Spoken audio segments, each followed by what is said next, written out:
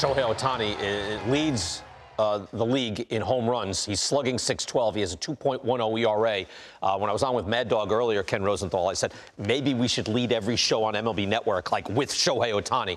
It's unbelievable what we're seeing, and we have absolutely not seen this on both sides of the ball in a hundred years. And that was the greatest player of all time, Babe Ruth. I, I, this might be the high water mark in Shohei Ohtani. Do you think? I hope not. it's so much fun to watch. better, but Brian, I'm with you, and I actually put this on Twitter the other day. I don't think he gets enough attention. No. Because what he is no. doing transcends sport. And to me, this guy should be on the Today Show, right? He should be like a national talking point because of the variety of skills that he's displaying. And we talk about the hitting and the pitching all the time. We don't often talk about the base running, which is also extremely good. No. He is just a phenomenon like we have not seen in this sport. And we have amazing athletes in our sport right now, perhaps the greatest athletes in the game's history, and he rises above them all. Uh, I mean, when you're watching this, and again, he hits game-winning home runs. Uh, he's an ace on the mound. Um, I don't know, uh, like, but it's just a matter of Dave Valle. I don't want to pour water on it. Can this continue on a regular basis where you're putting them out there on the mound to pitch and getting them enough? All right, let's go to this now. Just, it hasn't happened since 1918 and 1919. So 1919, Babe Ruth had a 2.97 ERA with 133 innings and he had 29 home runs. It led the league. He led the league in slugging with at 657. But Ohtani right now has a 2.10 ERA. ERA plus again is ERA plus. Actually, he's much better. Back then it was a pitching era. Uh, and the hitting, again, he leads the league in total bases. It hasn't happened since Babe Ruth, and that's a very different era of baseball. Well, BK, I think he's just such a unique talent that there's really nothing he doesn't do at an elite level on a baseball field. He's a big man. He's 6'4", about 245, uh, strong.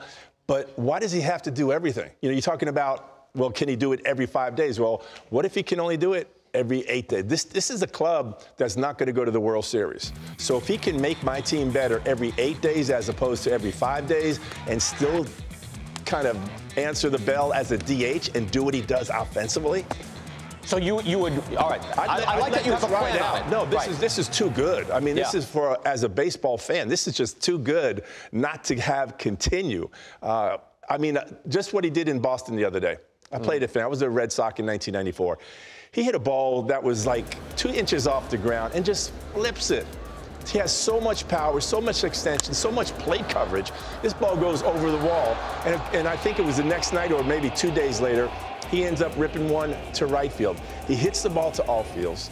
He drives the ball. You mentioned total bases. Yes, leading the league in, with 13 homers and total bases. Right. So it's not just one and done. A lot of people are hitting home runs. This guy's hitting doubles. He's hitting triples, and he's just doing everything. Let him keep doing it. But I like that you have a plan in easing up on the pitching because I just feel like – it, it, he can't, I don't know if he can do it. He hasn't. He's, he's pitched very sporadically, even through his career so far, Steve. He can pitch great, and he can hit great. Can he hit and pitch at the same time in the normal way we see it? I just don't think it's physically possible. Well, they they, they need him to pitch more than hit, right? I mean, yeah, but that's not his problem. No, I that's know. bad if you say, "Well, we really, really need pitching." Uh, you know, I'm, I do not know. I'm leading mean, the league in hitting. Why, why, why not just like you know? I understand what you're saying every eight days, but why not just go for as long as it'll go?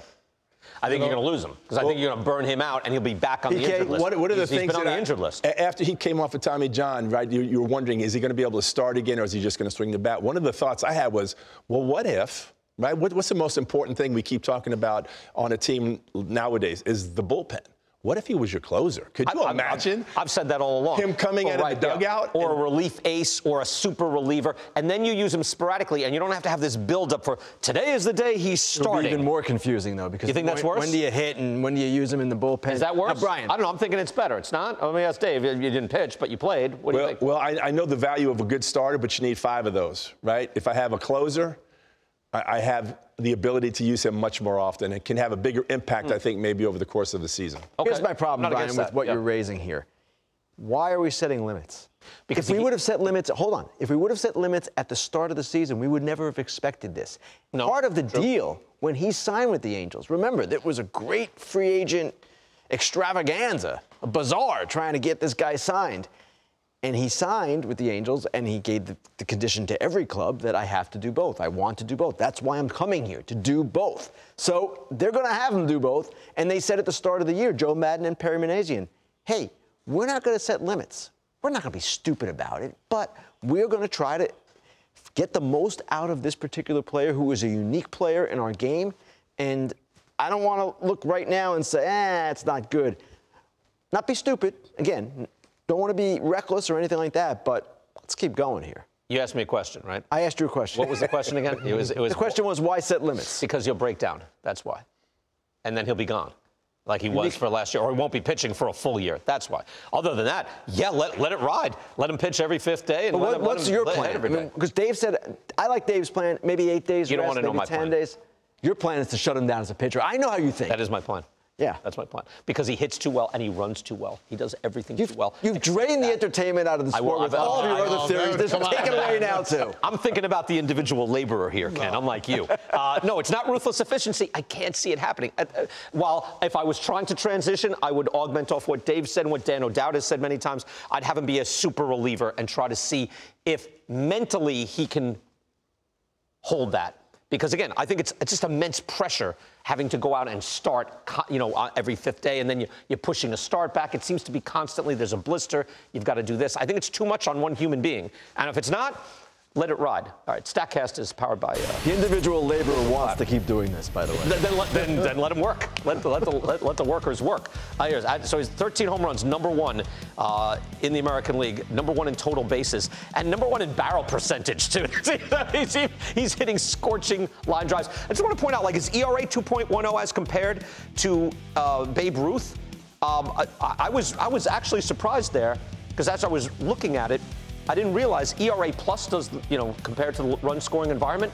His pitching is much more impressive this year yes. than Babe Ruth's in 1919. Yes. It's way above league average, whereas Ruth, you know, was. But you want to eliminate the right side of that screen.